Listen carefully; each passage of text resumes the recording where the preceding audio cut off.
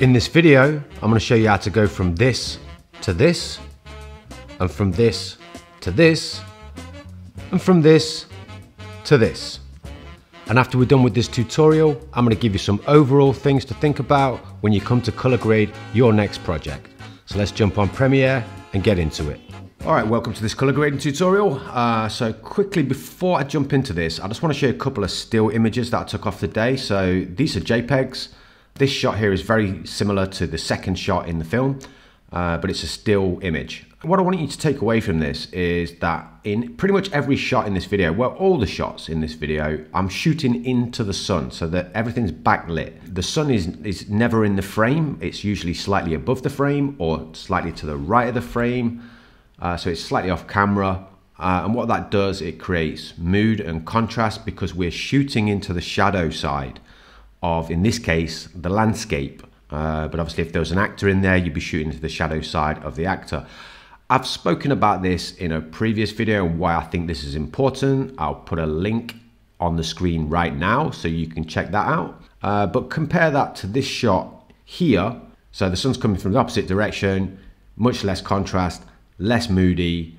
Um, and that's quite important. Well, it's extremely important, I think, because to create this grade, you need to be uh, be aware of where the lighting is, where the sun is in this case, because that's to have a big impact on the overall look and the aesthetic. So anyway, that aside, let's jump in.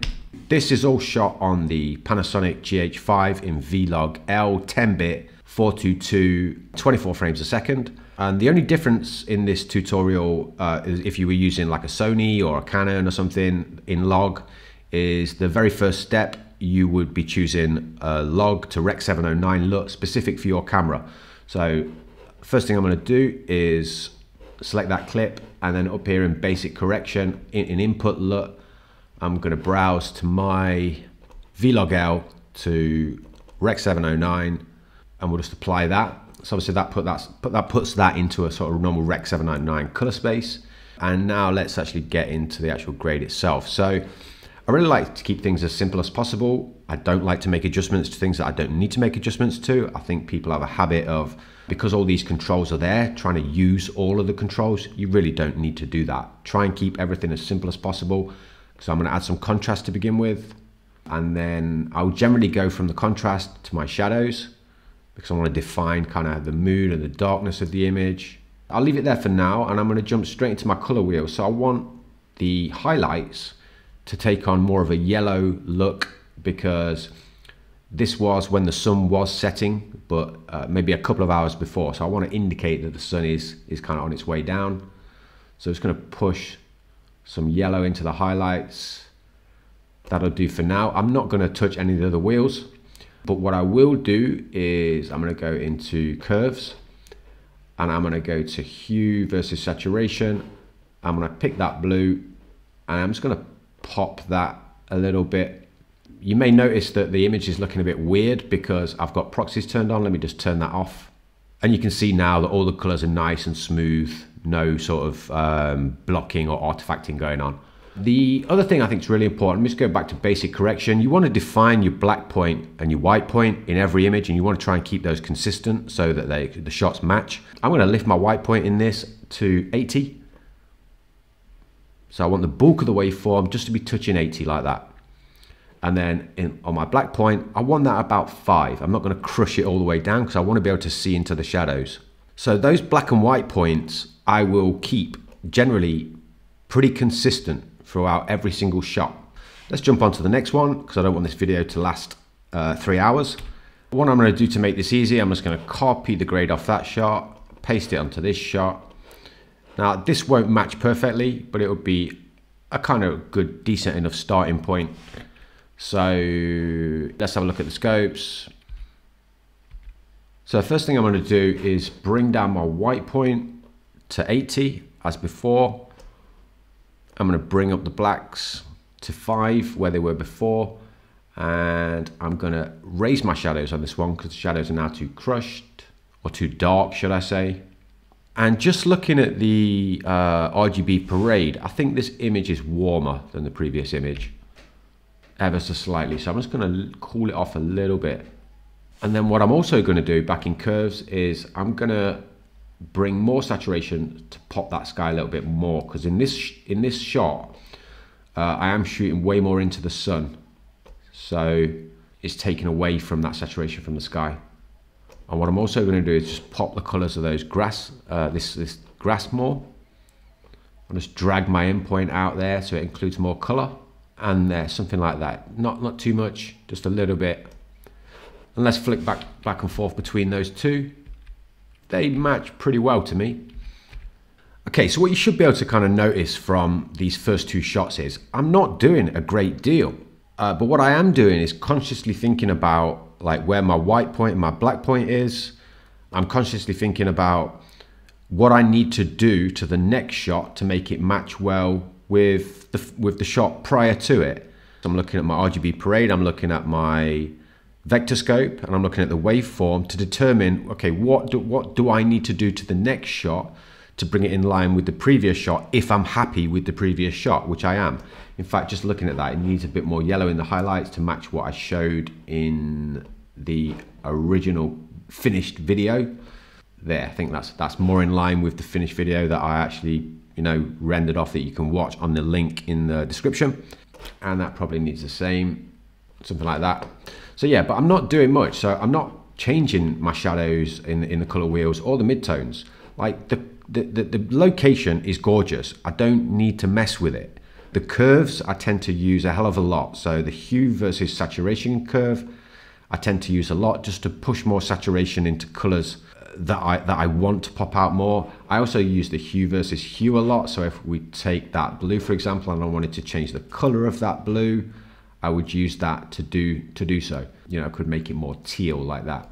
But in this particular video, I don't want to do that. So I like the sky as it is. So what I, I suppose the, the message here is don't mess with it if it's not, if, it, if it's looking pretty decent off on camera and you should always be aiming to make things look good on camera and not be trying to fix it in post. You know, as we say in England, you know, you can't polish a turd at the end of the day. So uh, if you've captured rubbish in the first place, you're not going to be able to save it in the grade. Okay, so let's jump to a shot later on in the video. We'll take this one here because I showed it at the beginning. Uh, again, I'm still going to copy the grade. I'll have to make a lot of changes to it, but it's still a starting point. Looking at the scopes, um, I can see my white point has moved slightly up to 90 IRE, but that's okay because uh, the sky is much brighter at this stage. The sun has set, it's just behind the clouds here. However, uh, in curves, obviously we no longer need this hue versus saturation for the blue. I'm just going to reset the whole curve. And what I'm going to do is pick that bunch of colors across that ridge there. And I'm just going to extend out my uh, right hand side point to include more green. And I'm going to bring the midpoint to the middle and I'm just going to bump all that up just to warm it up slightly, boost those colors. But then I'm also going to go into my uh, color wheels and I'm going to shift over my highlights to way more of a sort of orange, deeper orange now, because obviously that is kind of what happens when the sun sets, something like that. So I'm going to bring my shadows down, and then I'm just going to warm up the whole image slightly using the temperature slider, just to warm up that sky even more and just give that warmth to the whole image. So before and after.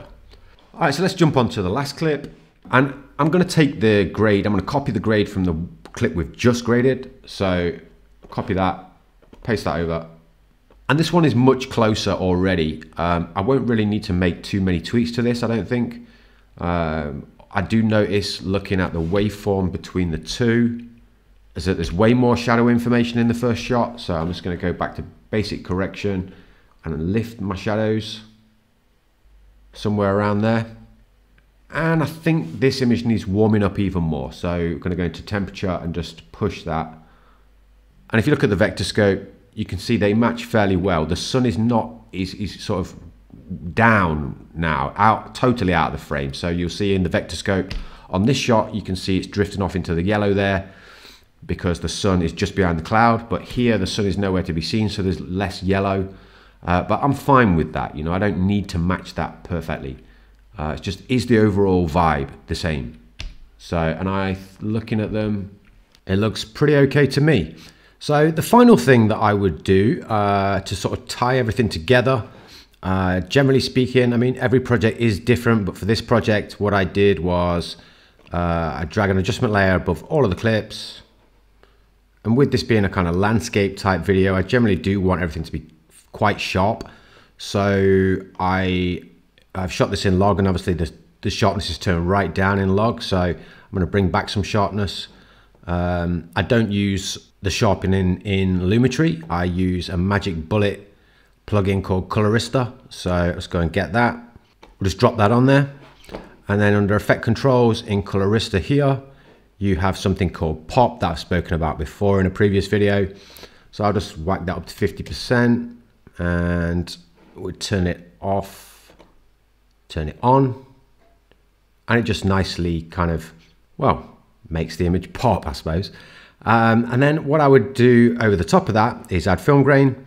I've got some Fuji stocks here that I can upload to a link on Google Drive if you want. They are in another video that I did, but I can always upload them again.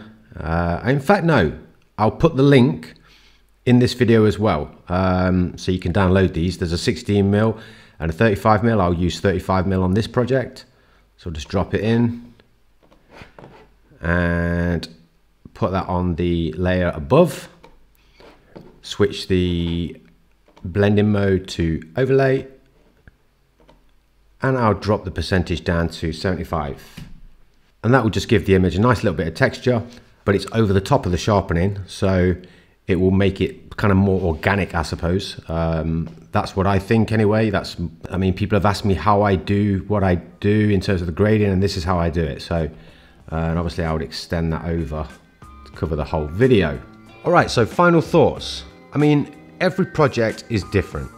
I generally approach grading the same way on pretty much most projects, but every project is different and every project will need, will have different considerations and things that you need to think about.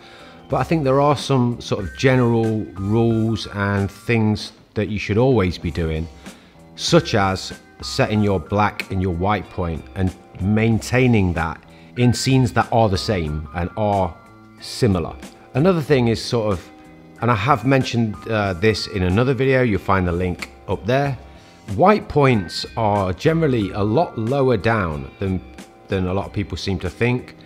Uh, kind of people who are new to color grading seem to think that you need to always be pushing your whites just below 100 and your blacks sort of just above zero. And really, that's not true. I mean, you look at a lot of modern cinematography, even in daytime scenes, the white point is nowhere near 100. It's more like 70 to 80. I do discuss that in the other video, so go check that out. And then I think eh, the other thing is don't overcomplicate it. I've I, have i have heard an interview with Jill. I don't know how you pronounce her name. I'm terribly sorry, Bogdanowicz who was the colorist for the Joker, in which she says she uses, I don't know, sort of three to five nodes. It might not have been Jill, it might have been somebody else from Company 3, but in DaVinci Resolve, they use like a minimal amount of nodes.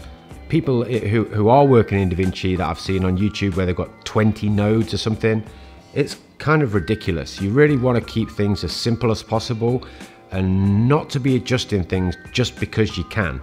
I think that's one of the problems with the tools that we've got now. They're so powerful, you can do anything, but just because you can do anything, it doesn't mean you should. You really should just be kind of polishing what you've already shot. You really should be thinking about the grade before you've even stepped out of your door with your camera equipment. You should have thought about it way before.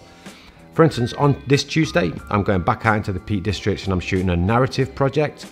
I know the look I have got in my head. This is a project with an actor, with a story, the kind of things I, I like to shoot uh, more. The thing is, I've thought about the exact style of cinematography, the look, what I want the colors to look like.